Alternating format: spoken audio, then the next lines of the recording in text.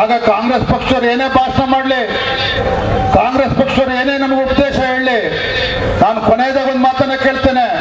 ಇವತ್ತು ಕಾಂಗ್ರೆಸ್ ಪಕ್ಷದವರು ಪುಕ್ಕಟ ಹತ್ಕೊಡ್ತೀನಿ, ಪುಕ್ಕಟ ಇತ್ಕೊಡ್ತೀನಿ ಅಂತ ಹೇಳಿ ಇವತ್ತು ಎಲ್ಲ ರಾಜ್ಯ ತುಂಬ ಎಲ್ಲ ಕಡೆ ಬೋರ್ಡ್ ಹಾಕ್ಸ್ತಾ ಇದ್ದಾರಲ್ಲ? ಯಾಕೆ ಸ್ವಾಮಿ? ಇವತ್ತು ಸ್ವಾತಂತ್ರ್ಯ ಬಂದ ಐವತ್ತರವತ್ತು ವರ್ಷ ವರ್ಷಗಳ ಕಾಲ ತಾವು ಆಡಳಿತ ನಡೆಸಲಿಲ್ಲ ಹಾಗಾದ್ರೆ? ಸ್ವಾತಂತ್ರ್ಯ ಬಂದ ಅತಿ ಹೆಚ್ಚು ವರ್ಷಗಳ ಕಾಲ ಆಡಳಿತ ನಡೆಸಿರ್ತಕ್ಕಂಥ ಕಾಂಗ್ರೆಸ್ ಪಕ್ಷ ಅರವತ್ತು ವರ್ಷ ಆಡಳಿತ ನಡೆಸಿದ್ರು ಕೂಡ ದೇಶದಲ್ಲಿ ಬಡ ಬಡತನವನ್ನು ತೆಗೆದುಕೊಳ್ಳೋಕೆ ನಮ್ಮ ಯೋಗ್ಯತೆಗೆ ಆಗಲಿಲ್ಲ. ಅರವತ್ತು ವರ್ಷಕ್ಕೂ ಹೆಚ್ಚು ಕಾಲ ಆಡಳಿತ ರಾಜ್ಯದಲ್ಲಿ ನಡೆಸಿದ್ರು ಕೂಡ ಈ ರಾಜ್ಯದಲ್ಲಿರ್ತಕ್ಕಂಥ ಯುವಕರಿಗೆ, ದೇಶದಲ್ಲಿರ್ತಕ್ಕಂಥ ಯುವಕರಿಗೆ ಶಕ್ತಿಯನ್ನು ಕೊಡ್ತಕ್ಕಂಥ ಕೆಲಸ ನಿಮ್ಮ ಕೈಯಲ್ಲಿ ಆಗಲಿಲ್ಲ. ಇವತ್ತು ಪುಕ್ಕಟ ಕೊಡ್ತೀವಿ ಅಂತ ಹೇಳ್ತಾ ಇದ್ರಿ ನಿಮ್ಮ ಮಾತುಗಳಿಗೆ ಮರಳಾಗ್ತಕ್ಕಂಥ ಸಂದರ್ಭದಲ್ಲಿ ಇವತ್ತು ರಾಜ್ಯದ ಪ್ರಜ್ಞಾವಂತೂ ಮತದಾರ ಇಲ್ಲ ಇವತ್ತು. ಅವ್ರಿಗೆ ಅರಿವಾಗಿದೆ. ಇವತ್ತು ಡಬಲ್ ಇಂಜಿನ್ ಸರ್ಕಾರ ಕೇಂದ್ರದಲ್ಲಿ ನರೇಂದ್ರ ಮೋದಿಜಿ ಅವರ ಭಾರತೀಯ ಜನತಾ ಪಾರ್ಟಿ ಸರ್ಕಾರ ನೇತೃತ್ವದ ಭಾರತೀಯ ಜನತಾ ಪಾರ್ಟಿ ಸರ್ಕಾರ.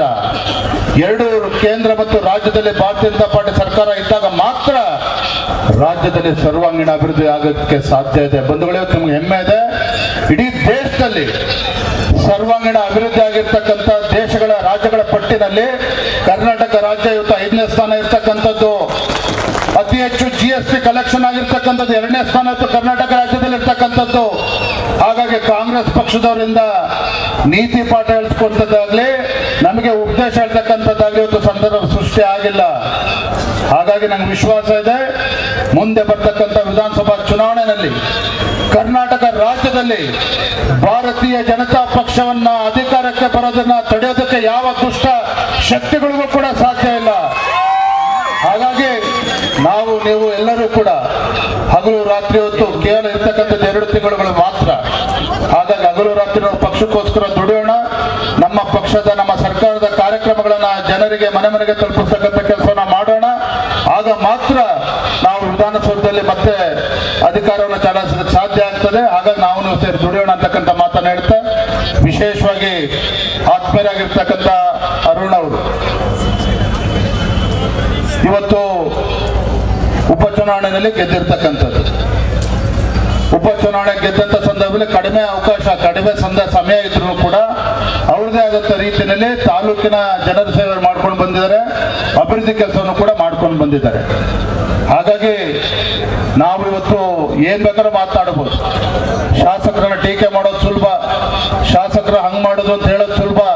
ಆದ್ರೆ ಸ್ಥಾನದಲ್ಲಿ ಕೂತಾಗ ಅದ್ರ ಸಂದ ಅದು- ಅದ್ರ ಕಷ್ಟ ಏನು ಅಂತ ಹೇಳಿ ನಮ್ಗೆಲ್ಲರೂ ಕೂಡ ಅರ್ಥ ಆಗ್ತದೆ ಹಾಗಾಗಿ ನಾವು ಯಾವುದನ್ನು ಕೂಡ ಆಲೋಚನೆ ಮಾಡ್ದೇನೆ. ಮತ್ತೊಮ್ಮೆ ನಮ್ಮ ಈ ವಿಧಾನಸಭಾ ಕ್ಷೇತ್ರದಲ್ಲಿ ಭಾರತೀಯ ಜನತಾ ಪಾರ್ಟಿ ಗೆಲ್ಲಬೇಕು ನಮ್ಮ ಅರುಣ್ ಅವ್ರಿಗೆ ಆಶೀರ್ವಾದನ ಮಾಡಬೇಕು ಅಂತಕ್ಕಂಥ ಮಾತನಾಡಿ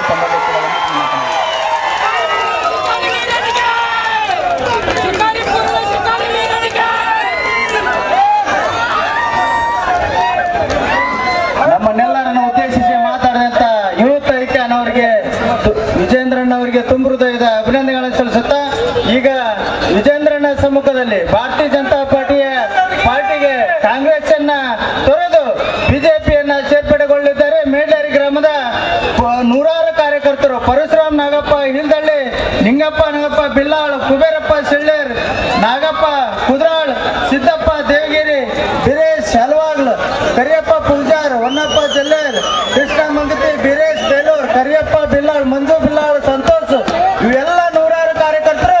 ಇವತ್ತು ಕಾಂಗ್ರೆಸ್ನ ಒಂದು ಭ್ರಷ್ಟ ಕಾಂಗ್ರೆಸ್ ಅನ್ನ ತೊರೆದು ಇವತ್ತು